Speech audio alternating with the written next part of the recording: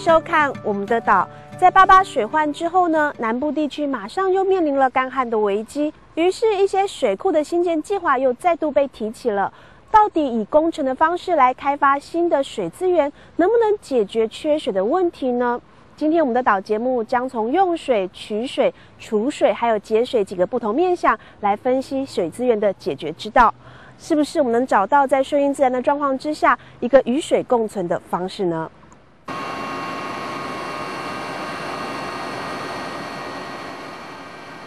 二零零九年八八水患。惊人的雨势造成重大的灾情，让许多家园破碎，居民流离。水患之后，南部地区长期没有降雨，加上水库淤塞，又形成新一波的水荒危机。从洪水水患到缺水水荒之间，台湾面临一个气候异常的年代。严峻的情势让人开始思考一条与水共舞的生存之道。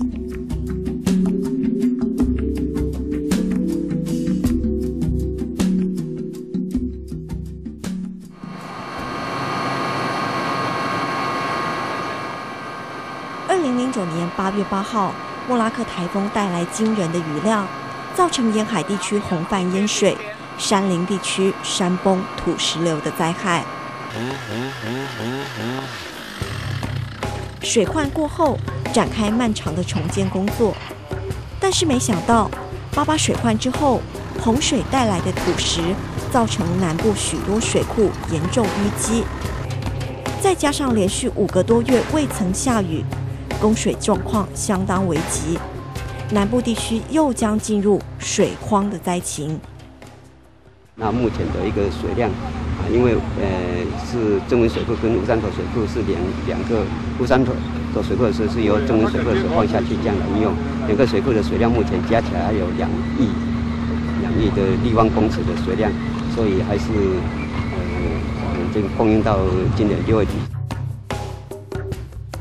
根据水利署统计，南部地区增温水库、南化水库、甲仙兰和堰等水利设施。在八八水患之后，总淤积量超过一亿一千万立方公尺，南部地区最大的增文水库就减少六分之一的蓄水量。这一次八八水灾的时候，我们这个增文水库的淤积量大概增加了九千一百多万啊，那这个是水库容量减少。那另外有漂流木，这个也是不少，大概有四十几万的漂流木，一万公尺的漂流木。那这部分我们要。赶快清运，防止漂流漂到水库里面去。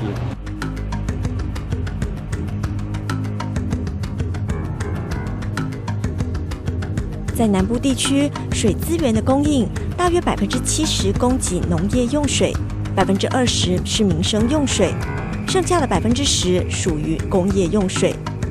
面临水荒的发生，政府在确保民生用水、提供工业用水。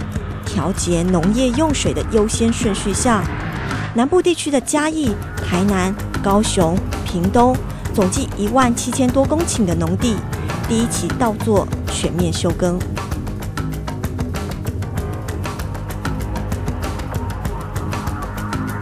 缺乏灌溉水源，农地的休耕引发农业经济停顿、农村文化断绝，甚至台湾粮食安全的问题。但是另一种因为水荒产生的危机，却是在台湾农村不断蔓延。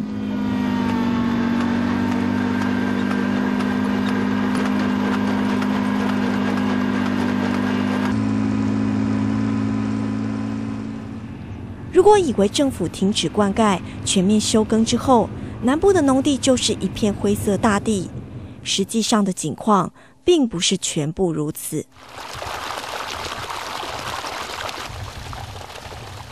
在台湾南部，因为郡道的设计以及长期面临干旱危机，农民早有一套应应之道。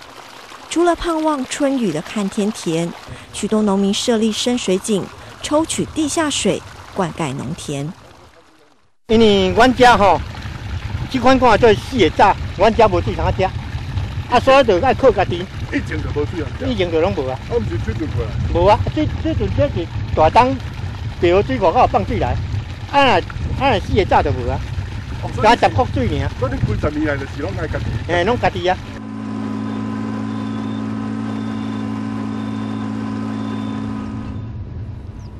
政府停灌农地，提供休耕补助，但是这些依赖地下水灌溉耕作的农民，心中却有不同的计算模式。今嘛今年啊吼，若无啥，若拢大部分拢无补啦，米会欠，啊米会欠，阮补就靠就靠高啊，啊有较好技术啦。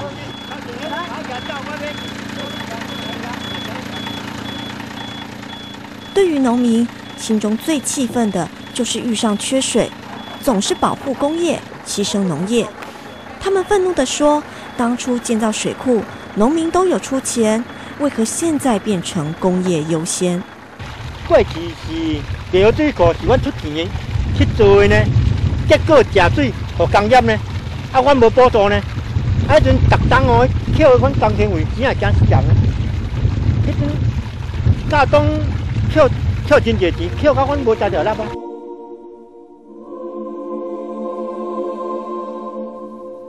农业用水与工业用水的冲突，随着缺水的严重以及工业区不断开发，提高工业用水需求，总是被牺牲的农民开始转向抽取地下水灌溉作为自救的方式，形成藻井数量大增，其中非法偷摄的问题，形成另一个水资源的危机。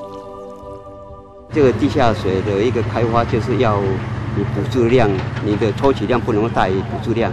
所以我们有一些地下水也有限，除了地板下运区的话，另外还有管管制的一个范围。嗯，那地下水的一个呃一个申请的核发是在县政府的一个权责。对吧那有一部分可能是他如果早有有水权的话，地下水权的话，他们允许的话，当然我们不能够怎么样来禁止啊。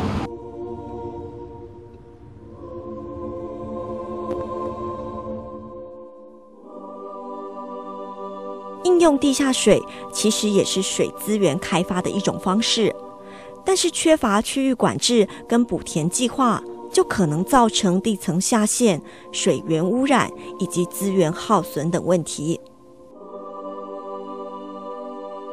水荒的发生，民生、工业、农业的危机成为社会关注的角力战，但是因为水荒引发的生态危机，却像无声的悲剧。静默的在大地蔓延。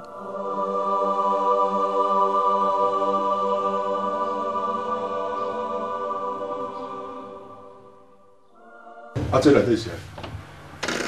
这就拢阮解剖的一寡胃寒物啦，啊，搁一寡鸟的呃尸体拢伫内底。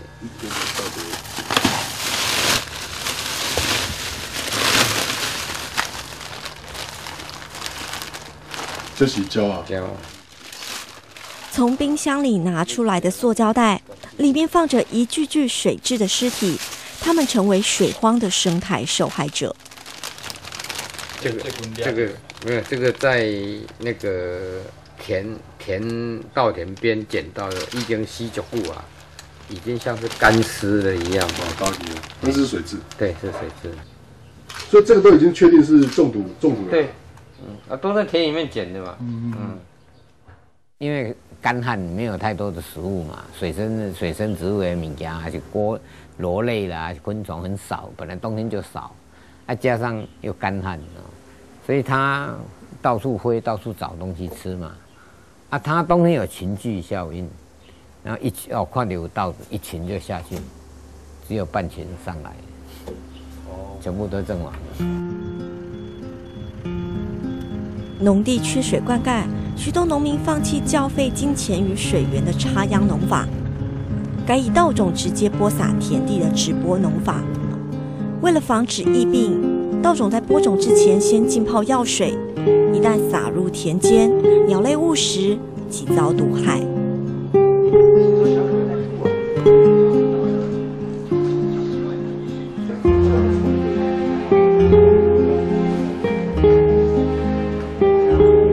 受伤的水质从关田水质保护区紧急送来，在紧急救治之后，研判有中毒的现象。他来的时候，他蛮虚弱的，然后再来就是伤口感染的非常严重。那基本上我们还是给他一些输液，给他一些像皮下的一些液体，让他补充水分。那解毒剂一样还是要给。哦，虽然他没有出现症状，可是如果假设让他出现了，就来不及。他有一些像后宫反张的现象，神经性的现象。打完针以后，他的精神就好，就会就会咬人，就会咬人。这些复合性的一些毒物，它来讲，其实它都是一些像有机磷类的东西。那有机磷不管是生物，只要是哺乳类动物吃到它，一定会中毒。大结束，我们刚好又有种一些绿色植物，所以呃，就一些鸟来这边尽量要保持那在水质保育园区研究人员的家中，另外两只受伤的水蛭进行复健观察，无辜的样貌成为水荒危机危机生态的见证。呃，之前已经我们已经拥有八十只，那包括今天是八十只死亡，那三只是有救活的，另外三只是救活的。八十只死亡。对，然后今天又多了三只是有是没死掉，哎，对对。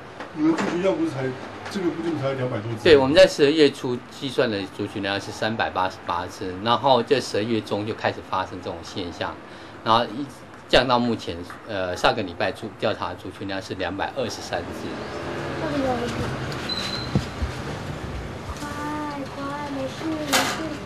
苏明菱角鸟的水质在台湾属于濒临灭绝的鸟种。台南关田一带经过富裕，数量维持三百多只左右。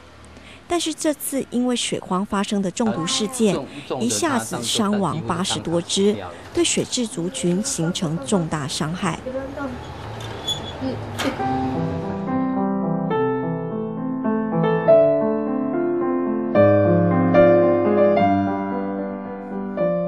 但是更令人担心的是，关田水质保护区内的保育湿地完全依赖水郡补充水源，在水郡停止供水后，园区面临干旱危机，保护区将完全失去其地的功用。夏天因为有雨水，所以我的繁殖，好啊，到了冬天，一些植物，一些一一年生的水生植物烂了以后，我基本上我用水龙蹲到管管，啊，一直补充，我整个冬季都没有水。啊，但是往年是到二三月要水也来嘛，因为农业用水嘛，因为早到要要，但是我今年没有水，所以我可能今年可能整个富裕区几乎全部是干干掉，干掉我这边水质就不可能在这边繁殖了，就到外面去了。外面有一些菱角田，它有打水井，所以也当也有当配啊。所以我基本上现在规富裕的功能，今年基本上几乎会停水荒的发生让大地一片干渴，许多仰赖农田水菌补充水源的湿地、皮塘，生存其中的蛙类、鸟类及昆虫，都在水荒之时成为生态浩劫的受难者。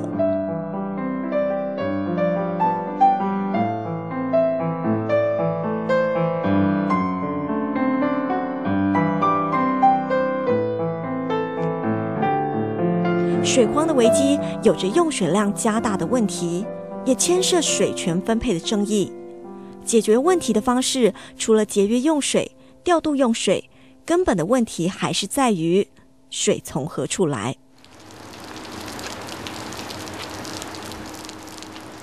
惊人的雨量落在台湾土地，台湾不是一个无雨无水的国度。但是荒谬的是，大自然给再多的水，台湾却还是面临水荒。台湾的水资源问题不是无水，而是留不住水。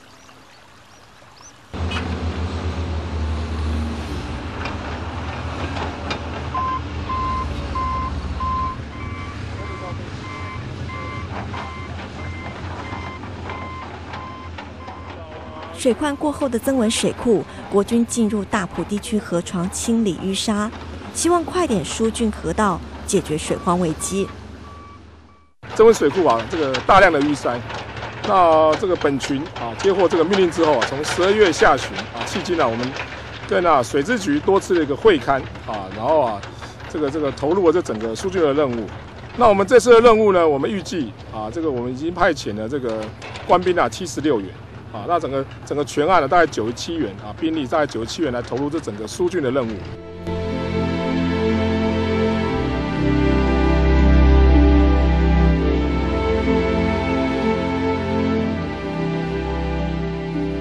水资源的取得以建设水库除去水源为主但是几十年的暴雨气候为水库增加的不是水源而是减少蓄水量的淤沙。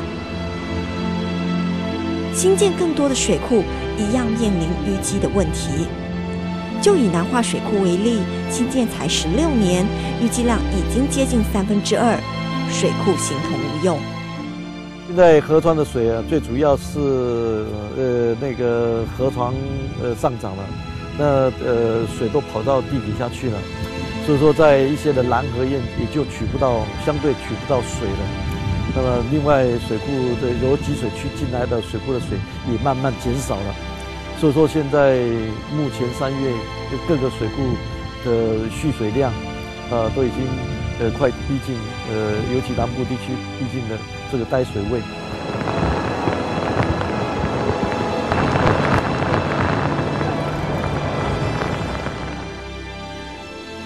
更惊人的事实，在暴雨量加大。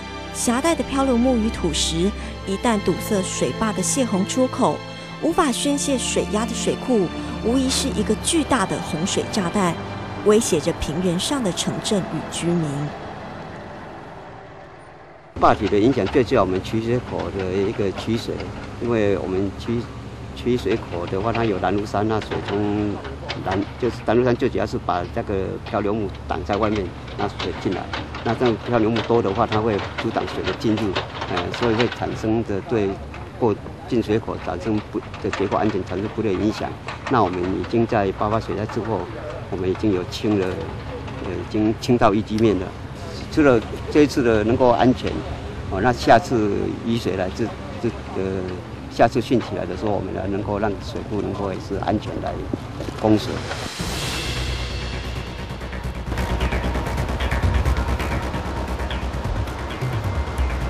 山区易崩塌的地形，因为豪雨造成水库淤积，宣告长期依赖水坝蓄水的功能受到严苛挑战。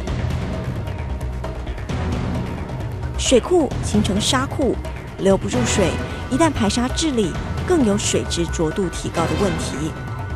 管理水资源的水利署必须正视水库功能丧失的事实，思考多元水资源的开发方案。嗯地表水、地下水这些增能增加的，我们尽量来考虑。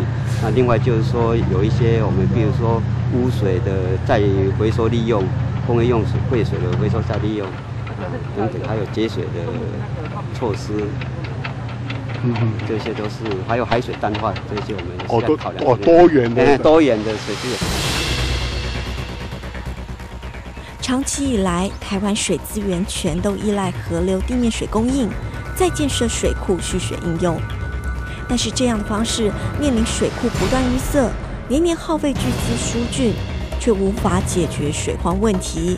应该开始找寻不同的取水之道。